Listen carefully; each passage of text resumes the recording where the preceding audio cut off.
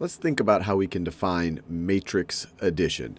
And math mathematicians could have chosen any of, a, of an arbitrary number of ways to define addition, but they've picked a way to define addition that seems, one, to make sense, and it also has nice properties that allow us to do interesting things with matrices later on. So if you were one of these mathematicians who are first defining how matrices should be added, how would you define adding this first matrix over here to the second one? Well, the most common sense thing that might have jumped out at you, especially because these two matrices have the same dimensions. This is a 2 by 3 matrix, has two rows and three columns. This is also a 2 by 3 matrix, two rows and three columns, is to just add the corresponding entries. And if that was your intuition, then you had the same intuition as the as the mathematical mainstream that the addition of matrices should literally just be adding the corresponding entries. So in this situation, we add 1 plus 5 to get the corresponding entry in the sum, which is 6. You can add negative 7 plus 0 to get negative 7. You can add 5 plus 3 to get 8. You can add, and I'm running out of colors here, you could add 0 plus 11 to get 11. You can add 3 to negative 1 to get 2 and you could add and you could add negative 10 plus 7 to get negative 3. And if you see this definition of matrix addition, you see that it actually does not matter in what order that we actually add these matrices. I could have done this the other way around. If I did this the other way around, let me copy and paste this. So if I were to add this matrix, so let me copy and let me paste it. If I were to add it this way, that matrix to, let me copy and paste the other one, to this matrix. So copy and paste. If I were to go this way, you'll see that the order in which I'm adding the matrices does not matter. So this is just like adding numbers. a plus b is the same thing as b plus a. What we'll see is that this won't be true for every matrix operation that we study. In particular, this will not be true for matrix multiplication.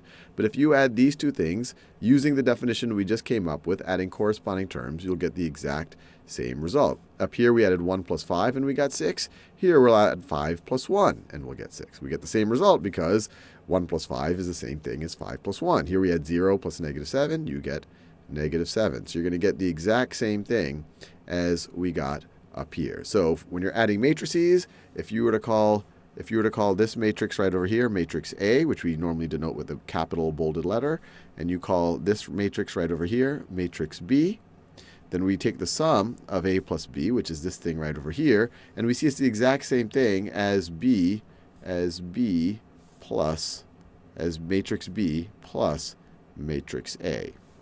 Now let me ask you an interesting question. What if I wanted to subtract matrices? So let's once again think about matrices that have the same dimensions. So let's say I'm going to do have two 2 by 2 matrices. So let's say it's 0, 1, 3, 2.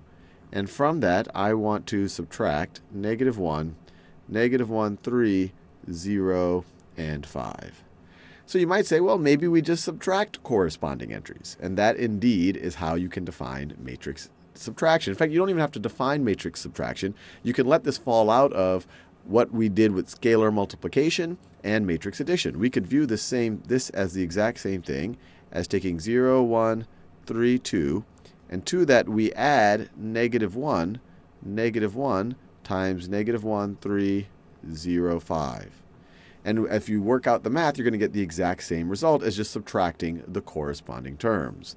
So this is going to be, what is this going to be? 0 minus negative 1 is positive 1. 1 minus 3 is negative 2. 3 minus 0 is 3. 2 minus 5 is negative 3. And you'll see that you get the exact same thing over here. When you multiply negative 1 times a negative 1, you get a positive 1. Positive 1 plus 0 is 1. Negative 1 times 3 is negative 3. Plus 1 is negative 2. Fair enough. There might be a question that is lingering in your brain now. Okay, Sal, I understand. When I'm add or, adding or subtracting matrices with the same dimensions, I just add or subtract the corresponding terms. But what happens when I have matrices with different dimensions? So for example, what about the scenario where I want to add the matrix 1, 0, 3, 5, 0, 1 to the matrix So this is a 3 by 2 matrix, and I want to add it to, let's say, a 2 by a 2 by 2 matrix. 5, 7, negative 1, 0. What would we define this as? Well, it turns out that the mathematical mainstream does not define this. This is undefined. This is undefined. So we do not define matrix addition or matrix subtraction when the matrices have different dimensions. There didn't seem to be any reasonable way to do this that would actually be useful and logically consistent in some nice way.